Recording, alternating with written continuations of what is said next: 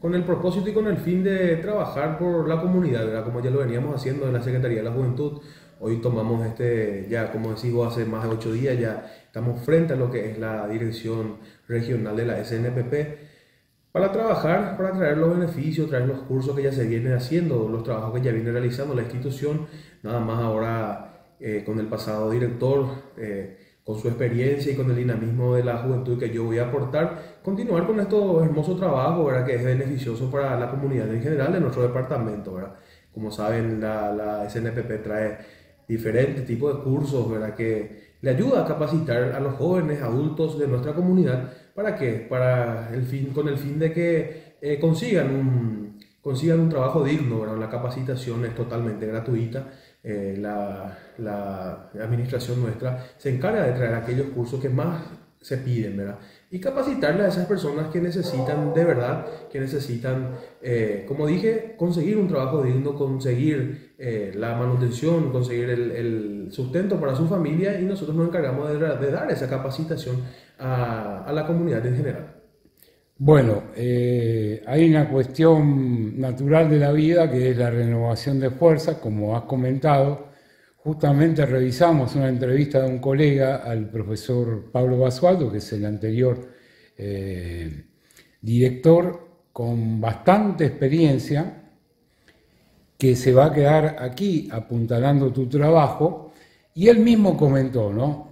Yo ya no tengo tanta fuerza para estar viajando, hay que ir a Asunción, hay que moverse, y todo ese dinamismo viene de tu mano, que aparte eh, estamos acompañando tu gestión en, digamos, en la política, ahora directamente en la función pública, y bueno, ¿qué podés transmitirle a las nuevas generaciones? Y a nosotros que no somos las nuevas generaciones, pero también de pronto acudimos al SNPP por diversos motivos. Correcto, Diego, como decís vos, ¿verdad? Eh, la combinación de la experiencia ¿verdad? con el dinamismo de la juventud, ese es el, ese es el, el, lema que vamos a llevar enfrente a esta dirección, trabajando muy de cerca con el profesor Basualdo, trabajando con este hermoso equipo de trabajo que cuenta esta dirección, viniendo, llevando a cabo también todo el trabajo que ellos están haciendo, ¿verdad?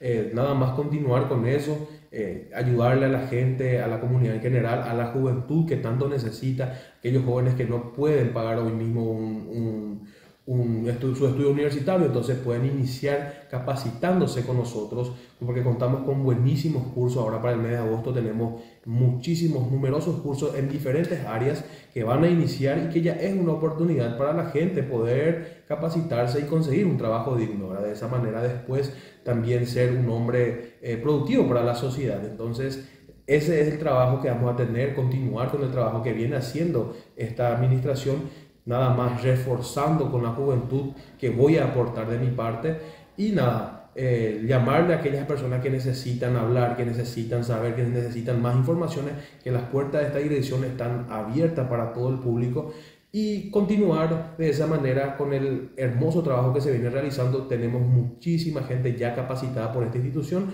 y a seguir eso, no, no solamente en Pedro Juan, sino que en todos los distritos del departamento de Amambay. Bueno, a modo de incentivo para la gente que se acerca a tomar un curso y a veces se siente un poco dejada de lado, vos decís, estás comentando porque no puede pagarse una carrera universitaria, vos como profesional, pero de pronto sí puede aprender un oficio. En esta época que eh, la inteligencia artificial va ganando terreno, de pronto a vos te toca como abogado que la profesión se va restringiendo en algunas funciones que se automatizan. Y eso es lo que queríamos pedirte, ¿no? Un, mensaje de incentivo para que la gente venga a capacitarse y como decía papá, ¿no? Si vos tenés un oficio, nunca vas a pasar hambre. Correcto, Diego, así mismo el trabajo de esta institución es capacitar a la gente, así como dice Servicio Nacional de, Profesión, de Promoción Profesional, entonces es seguir con eso, ¿verdad? capacitarle a las personas, como decimos, El, hoy día la, la, carrera universitaria es muy costosa Entonces iniciamos de esto, iniciamos de la base, trabajando por, por los jóvenes principalmente, que hay muchísimos interesantes cursos como peluquería, técnicos celulares, informática, eh, confitería, cantidad innumerable de cursos que esta dirección va a comenzar a fomentar más para que pueda llegar este beneficio no solamente a Pedro Juan Caballero, como mencioné, sino que a todos los distritos de Amambay, para que de esa manera la gente pueda sentir y servirse de estos, estos cursos que nosotros estamos ofreciendo hoy día. Entonces, eh, la dirección tiene ese, ese, ese encargo ¿verdad? desde el gobierno central que va a ser continuar impartiendo estos cursos para beneficiar a todos.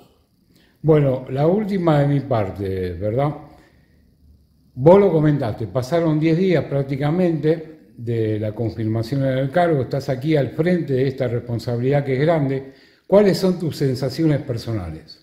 Bueno, así mismo 10 días ya que estamos frente a esta dirección, eh, con muchísimo trabajo, gracias a Dios, vemos que vamos a, a seguir haciendo muchísimas cosas, eh, trabajando muy de cerca con el profesor Basualdo, como mencioné, la experiencia con la juventud, el dinamismo de la juventud, yo sé que van a llevarnos muy lejos para... Eh, el beneficio que buscamos es no solamente para, para, nuestra, para nuestra institución, sino que el beneficio que buscamos es para la población en general.